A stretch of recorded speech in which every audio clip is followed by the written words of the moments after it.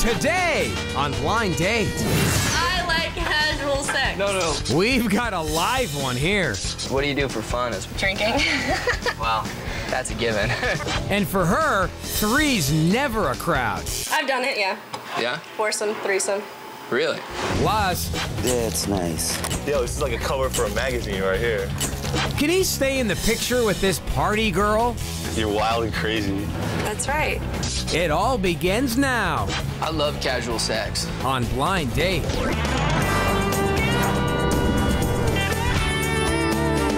Hey, welcome to Blind Date, everybody. I'm Roger Lodge, and for the next 30 minutes, you get to watch two couples caught in the act of dating, among other things. Let's get to it. And today we'll kick things off with Connie and her date Justin. Now, Connie's a professional ballroom dancer who says she's looking for a strong, rugged metrosexual. Perfect! Justin's an attorney who says when it comes to women, he wants arm candy. Again with this arm candy. You want someone when you walk in and everyone turns their heads. I think men like mostly my blonde hair and my ass. If I'm gonna have sex with a girl, like she's gotta be attractive. Like I'm not gonna just have sex for the sake of having sex. I mean when I don't get my way. when I don't get my way, but that usually doesn't happen. Women should be treated like princesses and queens. I do not have any problem going up to a guy that I'm attracted to or want to, you know, get to know better or even sleep with and telling him right off the bat that I want to sleep with you. Uh, Justin.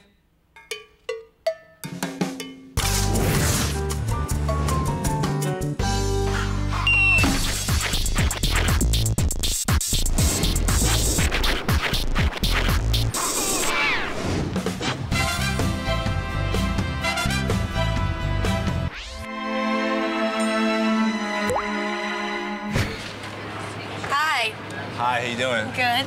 What's your name? Justin, it's a pleasure to meet you. Hi, I'm Connie. Nice to meet you. nice to meet you. Good. So, you ready to go? Yeah, let's do it. All right, all let's set. get this party started. Definitely.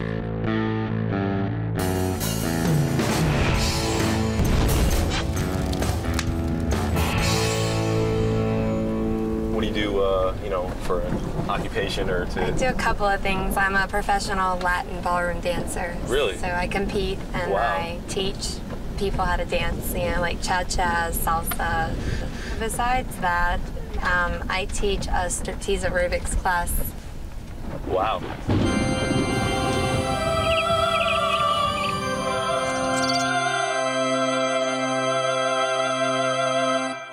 So, what's the uh, craziest and the wildest thing that you've done?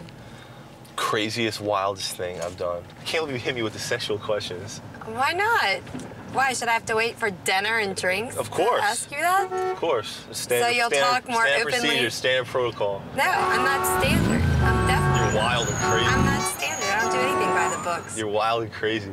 That's right. I haven't had, uh, you know, that many, you know, girlfriends in my lifetime. So it's kind of like, you know, I'm, uh, I'm still a work in progress. I'm kind of like a late bloomer, you know?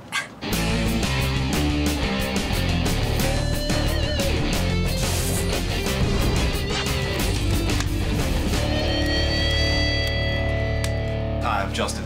Nice to Hi, meet you. I'm Alexei. I'm a photographer here. This is my photo studio. So uh, I'm gonna take some shots of you. Okay. And uh, I would like you to change into your outfits back here. Okay. All right, have fun with it. Okay, good. Hold it, that's good. Okay, oh, that's beautiful. Camera, look at the camera. Good, yeah, throw your head back. Throw your hair Yeah, back. nice. Freeze, both of you. Feel it. Yeah, that's good, just like that. Yeah. That's nice. That's gorgeous. Yo, this is like a cover for a magazine right here.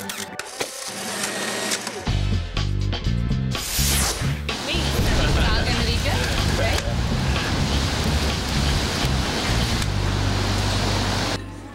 So, what do you look for in a woman?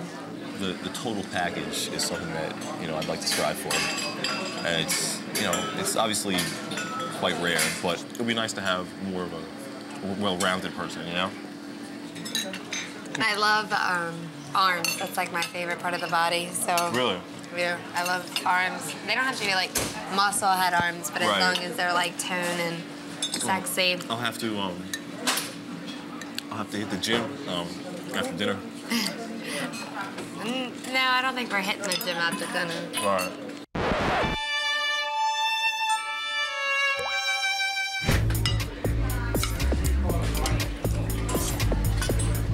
I have, to, I have to leave for a second. I'll be back in a minute. You'll be back? Yeah. Okay.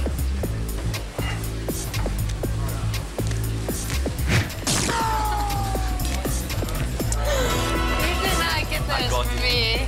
I got these flowers for you Those are sweet. because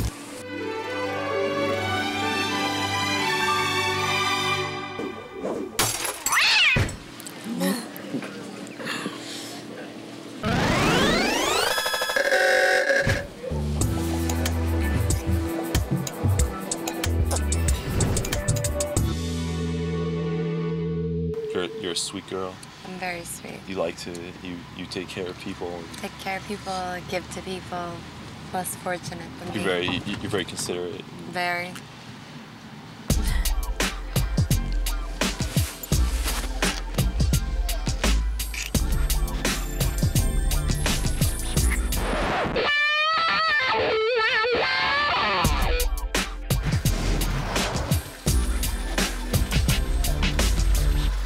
Are you gonna feed me watermelon Feed you watermelon.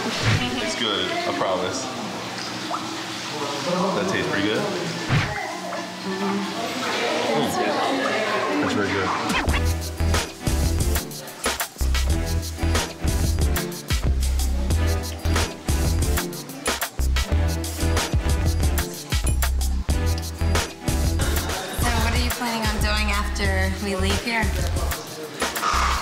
Probably gonna head back home to New Jersey. You're going back home. Why? Yeah, I gotta wake up early tomorrow. I gotta go to work. You have to go to work.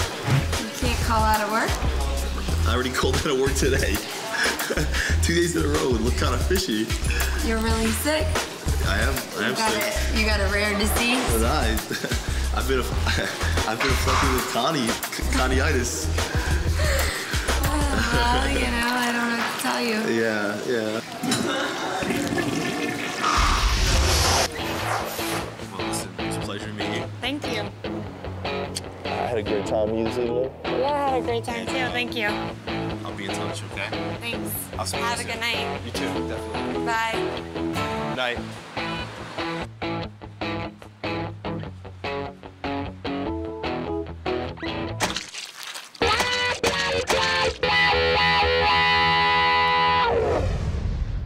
Can't make up a story for missing work? What kind of attorney is he? And we'll get plenty of post-date testimony when we come back. Stick around. Up next, Are you into group sex? Is there an invitation or something? a couple that's into spreading the love. group sex? Group sex. Casual and group sex? Casual and group sex. Okay. That's next.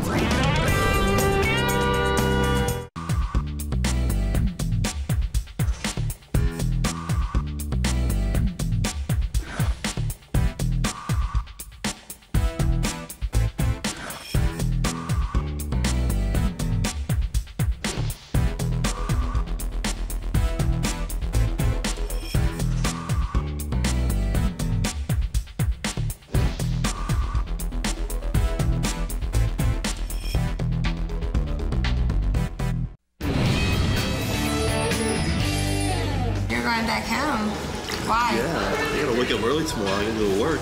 You can't call out of work. I already called out of work today. You're really sick. I am. I am You got sick. a, you got a rare disease. Yeah, he sure does. It's called blowing a sure thing-itis. Very common among young white males like Justin. Justin is definitely not my type because he's not wild enough and not crazy enough. I'm not as experienced in bed as Connie seems to be. I don't think Justin ever had a date with someone like me. I kissed Connie because I definitely felt there was there was some kind of, you know, intimate connection there. I just need a bad boy. I don't need a good boy. I would like to see Connie again because she epitomizes just pure, unadulterated sexual energy. I don't want to see Justin again. He just doesn't do it for me. Really? Well, I guess making out with him at dinner and in the back of the cab, not to mention in the hot tub, was all just for fun. What a tease. All right, now let's move on and meet our next potential lovebirds, Becky and Eric. Now, Becky calls herself a sassy party girl and a real pleaser. Her date Eric says that he's the rebellious type, looking for an adventurous girl. I want a girl that's willing to go out and have a good time, fly by the seat of their pants with me. I think sarcasm is probably a turn on for me. I ride freestyle motocross. I've been doing that now for about 12 years. I love dirt bikes and motor like motorcycles. Truth of the matter is I haven't found a girl that lets me ride dirt bikes. The bad boys I like because they're sarcastic. So if they're pushy, then I'm pushy. Then it goes back and forth, and that's what makes it fun. I do a little bit more nutty stuff than more people would actually even think about doing in their lives. So if love falls on my plate, then I'll welcome it with open arms, but I'm not gonna go out and look for it. Well, don't worry, Becky. We run a very low pressure dating service here. You just get out there and make a few memories.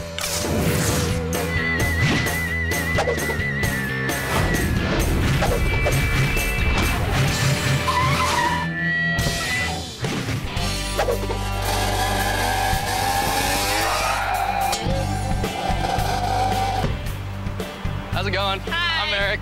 Hey, Eric, Becky, nice to meet Nice to meet you. you, Becky. So where are you from? San Diego. Where are you from? San Jose. San Jose. San Jose, yeah. So what do you do for fun? Just Ride dirt bikes and ride horses. awesome. love dirt bikes. Love dirt Same here. bikes.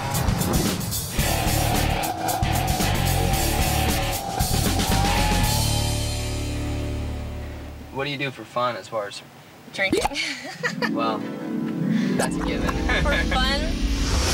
My, my thing is, I love dirt bikes, but nobody's ever taught me how to ride a dirt bike, and I've always been trying to find the person to teach me how to ride dirt bikes. Well, we can go riding anytime you want to go riding. Well, I think we should. What do you usually look for in girls? Uh, what do I look for in girls? Yeah. I look for somebody to have a good time with, more than anything. Just to be able to talk and hang out, you know, and just be up for the moment. I like to go out and party. I definitely don't like to stay home no matter what. I'm not a homebody at all. I gotta keep going. I mean, it's doing something. Dinner. Well, just camp. anything, going somewhere, you know? Don't waste your weekends and sit at home. Life's too short. There's all this to see and all this stuff to do.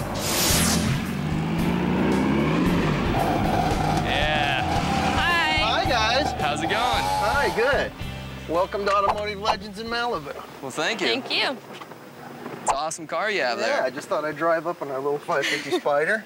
This is a replica of the James Dean Spyder. It's one of those really kind of fun cars that you can have a good time in. This is a super car. It's a super mini car. Uh-huh. This car's got 245 horsepower. Yeah.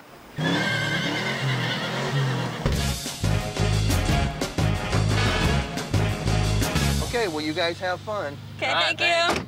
Be careful.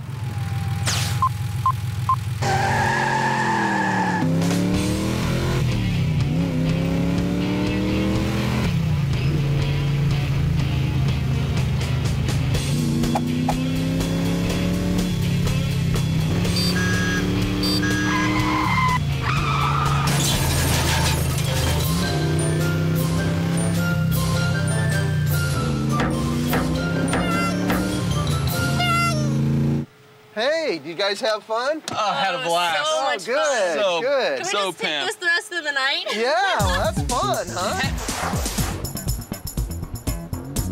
Now I'm ready to like speed. Go. Gun it.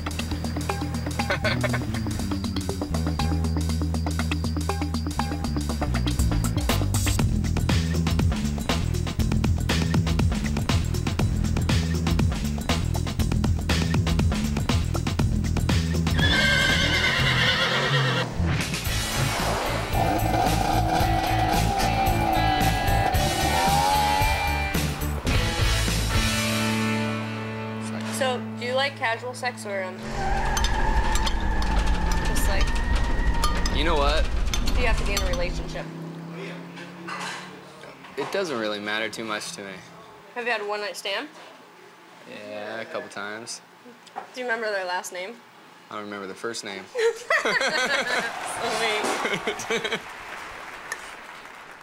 Um, I love casual sex. Wait, hold on. Would you like to like announce it to the world? Would you like to stand on the table? I like casual sex. No, no, no, love. Oh, I'm sorry. I love casual sex. Are you into group sex? Are you? Is there an invitation or something? Well, no, I was just wondering. I've done it. Yeah. Yeah? Foursome, threesome. Really? What's the ratio between guys and girls? I'm on both two guys and then two guys and me and a friend of mine. Sweet. So, yeah. What do we cheerings do? Cheerings do. Cheering. group sex. Group sex? Casual and group sex? Casual and group sex. Okay.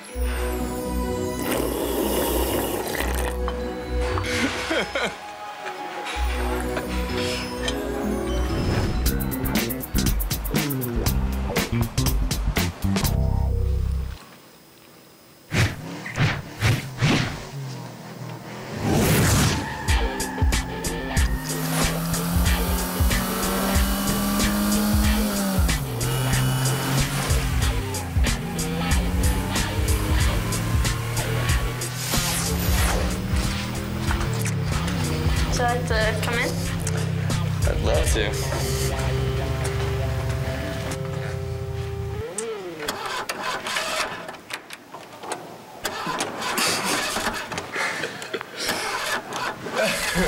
No, seriously, you gotta go like.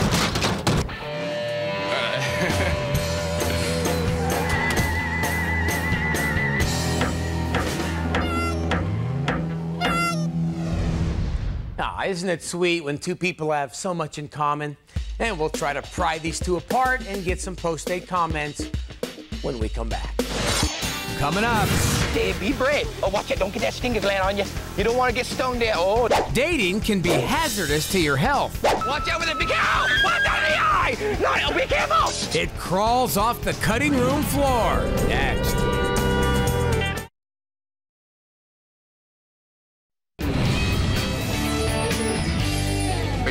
Sex? I've done it, yeah. Yeah? Foursome, threesome. Group sex. Group sex? Casual and group sex? Casual group sex. Okay. Oh, this is such a family show. And I think we can go ahead and put this one in the old win column. I think Becky's just like me, down to earth and very outgoing. We were at the car place, Eric turned me on more than the Mini did, so I wanted to take him for a ride. What turned me on about Becky is that she's a lot of fun to hang out with and she's very beautiful. At dinner, Eric's talk about sex turned me on, but I knew that it would heat up things more later. When we were at dinner talking about sex, I only knew the night was gonna get better. Eric is a wonderful kisser. I enjoyed kissing him. I'm dying to take Becky dirt bike riding because there's so much I want to teach her. I'm looking forward to dirt bike riding with Eric. I think he can teach me a lot. I would definitely go out with Becky again. I would love to go on a romantic date with Eric again. Well, all they have to do now is call a couple of pals and they're on their way. All right, coming up, some dates just make your skin crawl. It's off our cutting room floor next. You are the five. Get off my stage.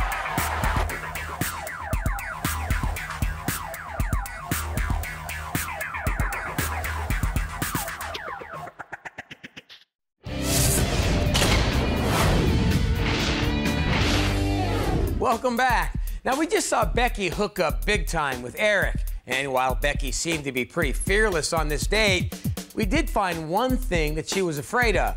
Check this out.